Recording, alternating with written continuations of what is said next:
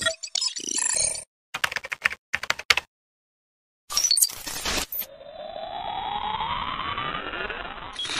up and sit down.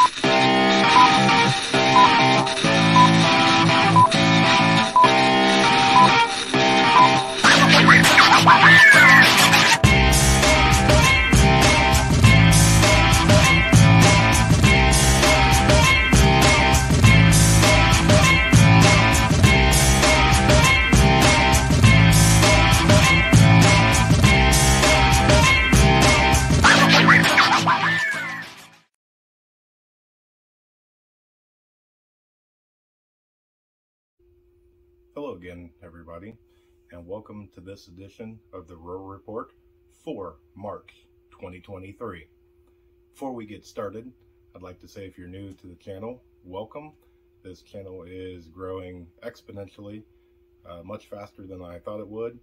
We are one week in and we are getting close to 200 subscribers. So, again, thank you for watching, and we look forward to growing this channel together. Uh, if there's anything that you would like to see in the future for future content, please just drop it in the comments or reach out to me. But today we are going to learn how to do char cloth. And everything you see on the table is what we're going to use today. And so the first thing that we're going to do is everybody uses on all the YouTube channels and everywhere that you look, the little candy tin and that's how they make their char cloth.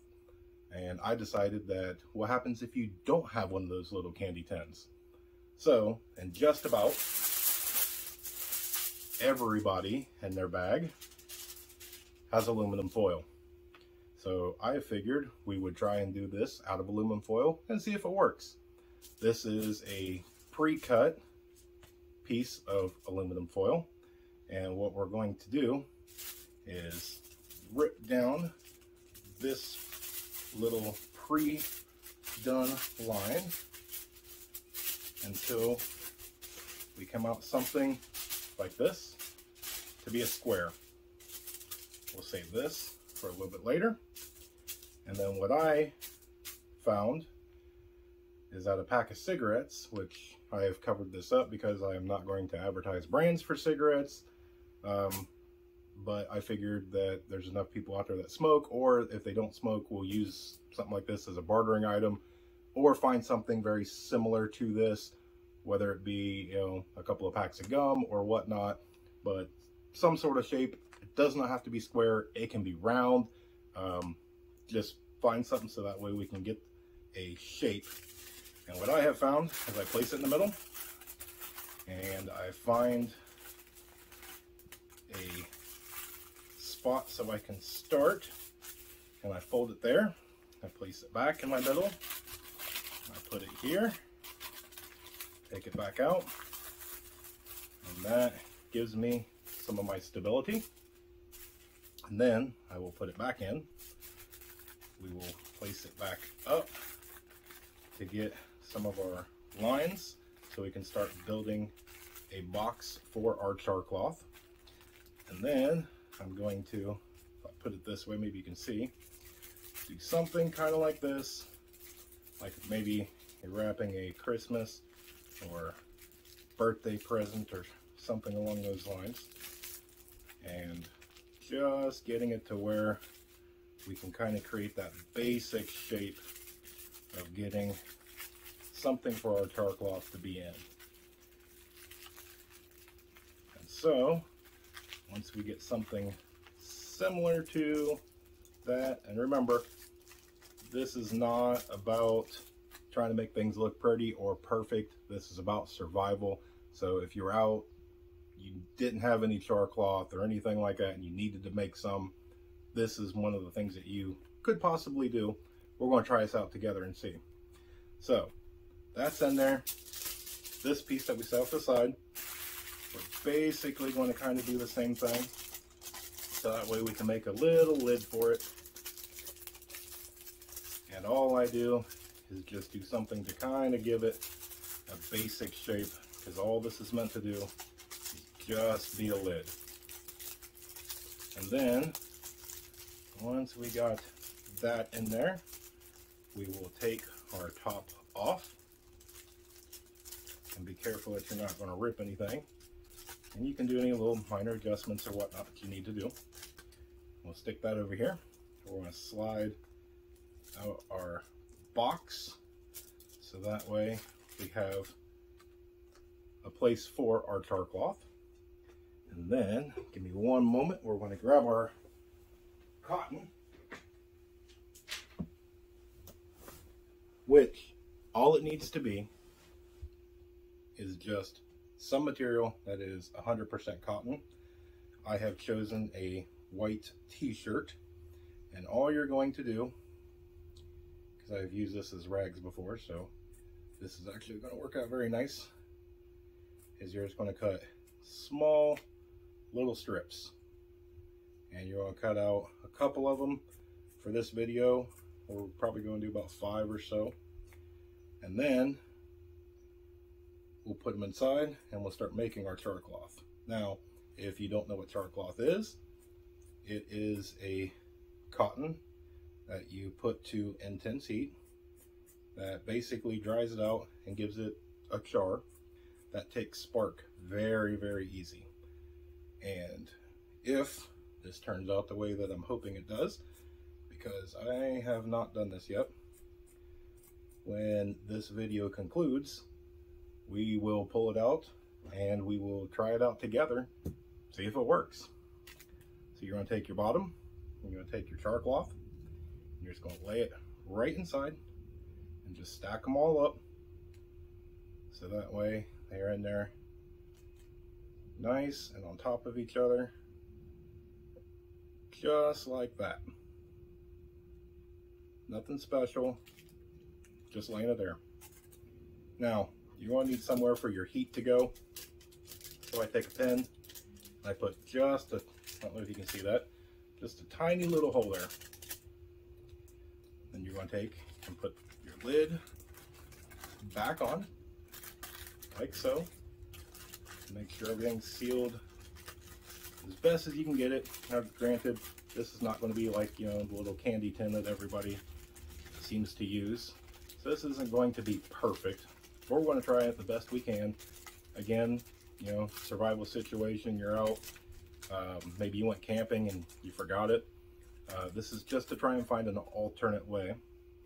So we're going to use this. Now you can build a stand out of anything because you need to get it close to the flame, but you also need air to get up underneath there and whatnot. Uh, this is actually just a really fun candle wax warmer. So we're going to use that as a stand. And then to get the flames a little closer, I'm actually going to put this right here.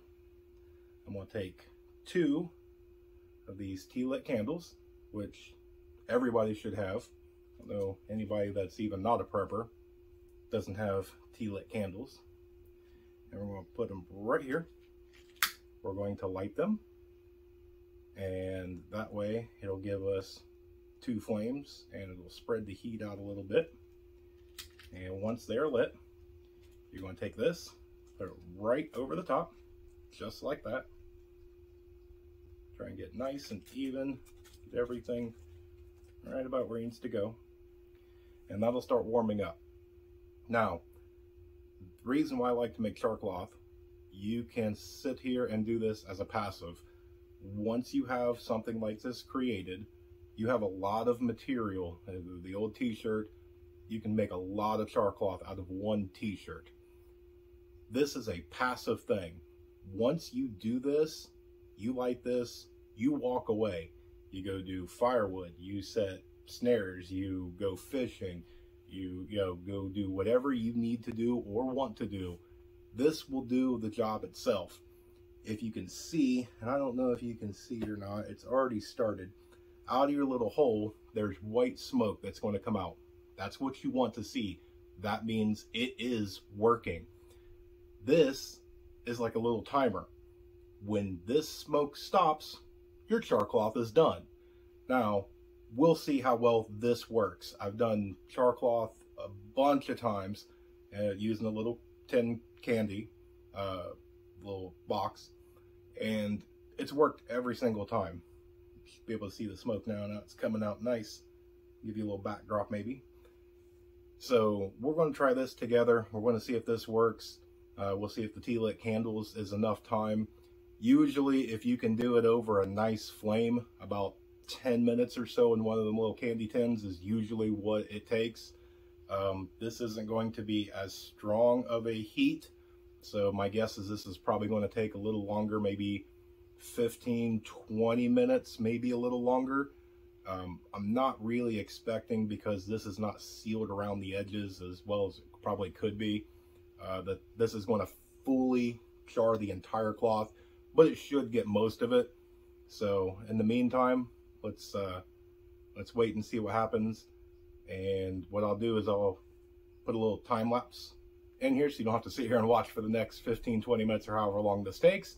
And uh, when you come back, I will give you a little bit of an announcement. So make sure you stay tuned and uh, we'll pop this open, test it out and see if it works.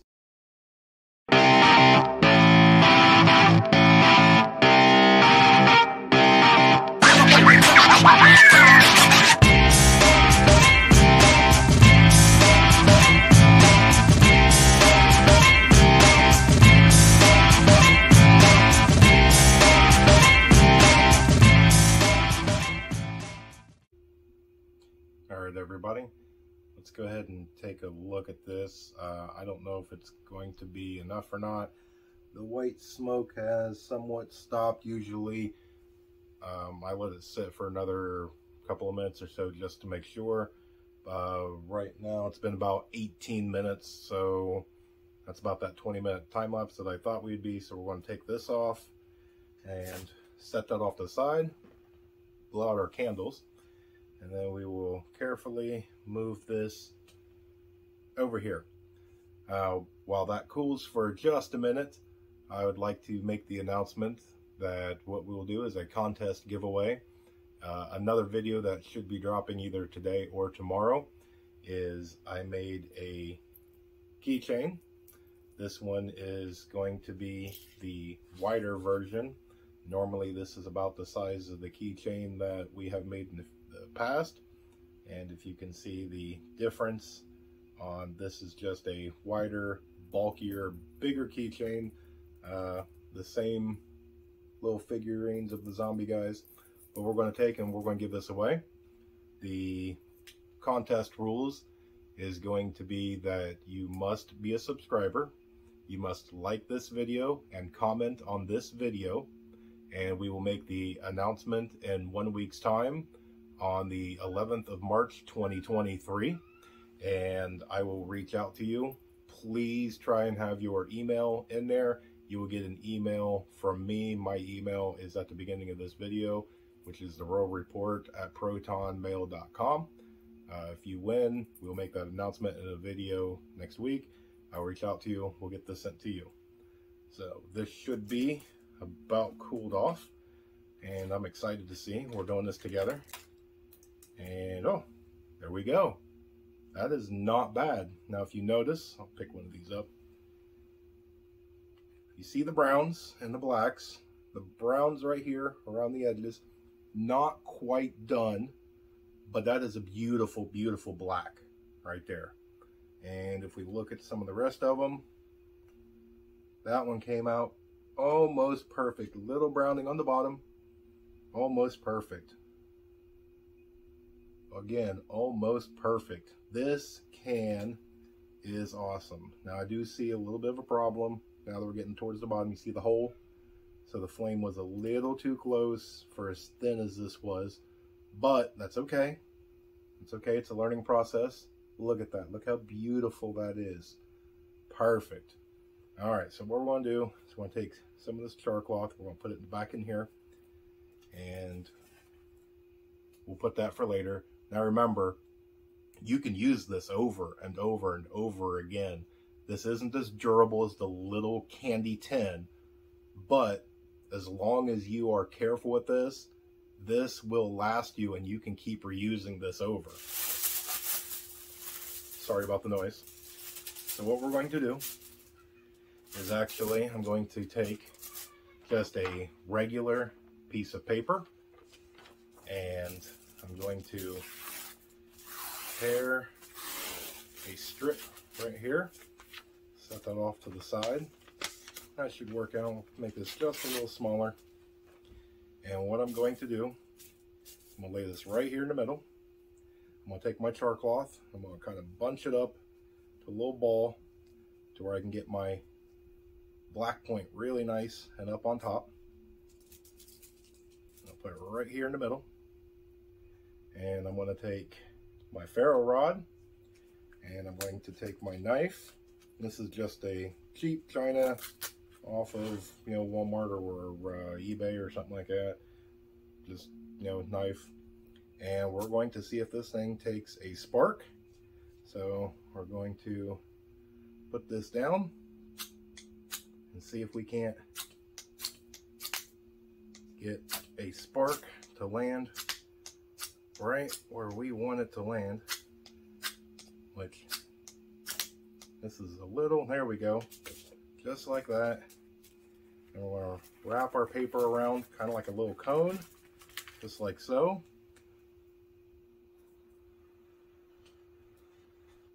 And blow